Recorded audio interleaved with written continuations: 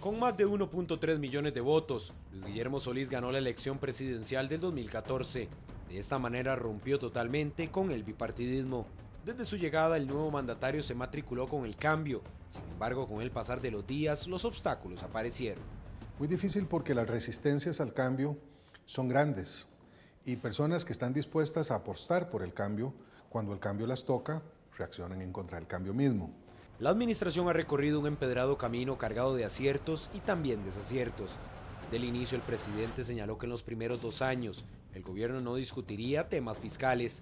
Cuando quiso explorar medidas para paliar el agobiante déficit económico del país, y el agua estaba hasta el cuello. No, es de recibo el decir que, no contó con el apoyo de la Asamblea Legislativa, porque sí hubo un grupo de diputados importante que estuvo dispuesto a entrarle el tema, pero empezando a hablar por el tema de gastos, que es como consideramos nosotros que debemos empezar a hablar y resolver el tema del serio déficit fiscal que tenemos. Le tuvo miedo, eh, eh, fue blandengue en enfrentar cierta presión de algunos latifundios mediáticos que pretenden gobernar desde una sala de televisión o desde una sala de redacción. Usted no puede avanzar si usted pretende quedarle bien a Dios y al diablo. Y que es para mí lo que ha pretendido el gobierno del presidente Solís. Pese a los cuestionamientos, Solís dice no haberse equivocado de presentar su reforma fiscal hasta el tercer año de mandato. Dos años antes o dos años después me habrían puesto las mismas rocas en el camino para impedir que el plan se, se cumpliera, igual que lo hicieron con las cuatro administraciones anteriores. En este país no queremos pagar impuestos. En ningún país se quiere pagar impuestos. Pero se quiere vivir muy bien sin pagarlos. Y eso es una contradicción en sí misma. Aunque los diversos sectores ven difícil que se apruebe la reforma fiscal en los últimos meses de la administración, Guillermo confía en que los diputados entiendan que el próximo gobierno necesita de sus recursos frescos. La oposición no quería que nosotros tuviéramos los recursos para hacer más cosas. Si los hubiéramos tenido, el gobierno probablemente habría brillado más en algunos temas.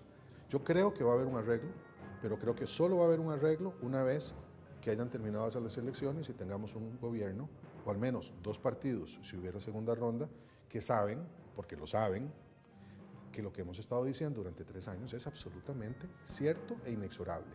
O hay nuevos impuestos y conseguimos mejores ingresos para el Estado, o los próximos cuatro años van a ser de grandes dificultades para el nuevo gobierno y por ende para todo el pueblo costarricense. Yo lo que veo es que el futuro de Costa Rica tiende a complicarse radicalmente.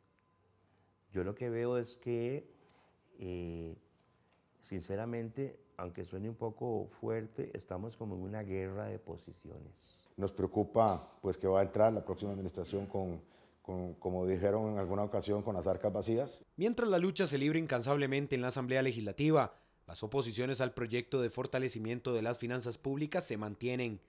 La liquidez del país sigue siendo un tema preocupante y el panorama es realmente incierto. El gobierno debió enfrentarse a dos fenómenos naturales que terminaron desencadenando una ola de destrucción en menos de un año. Primero fue el huracán Otto y posteriormente la tormenta tropical Nate.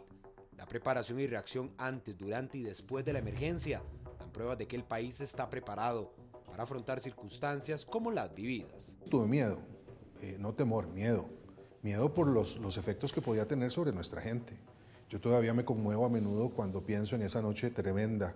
Fueron dos momentos muy, muy de, mucha, de, mucha turbación personal, de, me pusieron a prueba y también requirieron de una enorme atención eh, sobre los fenómenos mismos sobre las personas que estaban afectadas por los fenómenos y ahora en esta fase posterior de cómo atenderlas en un momento en que no hay recursos suficientes. Ese presidente firme, articulador, capaz de tomar decisiones en tiempo real para atender situaciones que requieren eso, soluciones prontas, inmediatas, lo hemos visto justamente en las emergencias y por eso no es gratuito que después de estas emergencias, especialmente la del huracán Otto, su este, imagen haya, digamos, ascendido mucho. Las acciones de la administración subieron considerablemente tras la atención de los desastres, siendo un acierto de la actual administración.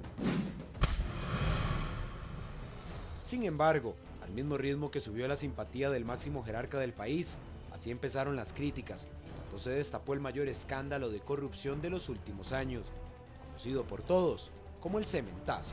En algún momento me llegué a preocupar de que esto pudiese haber tomado una deriva política muy complicada. Le dijimos a los operadores políticos que nos ayudaran en ese esfuerzo y en algún punto, aparentemente, el proceso pudo haberse desviado. Ni le pedí a nadie que, rompiera con la ley, ni nadie me sugirió que yo lo hiciera. Cometí un, error de, juicio porque no correspondía eh, colocar los temas en esa, en esa clave, por muy indignado que yo estuviera. Se equivocó Luis Guillermo Solís al decir que era una campaña en su contra. No sabía el mandatario que funcionarios de su gobierno podían estar involucrados en el cementazo. Debió mostrar más firmeza el mandatario a la hora de tomar decisiones.